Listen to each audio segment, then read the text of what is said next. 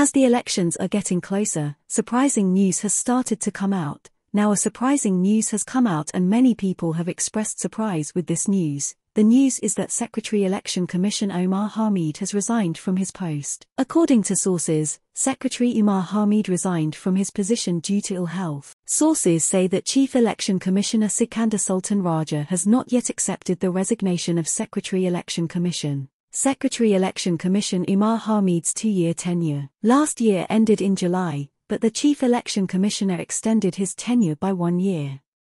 In this regard, the spokesperson of the Election Commission says that the Secretary of the Election Commission Umar Hamid is an intelligent and hardworking officer.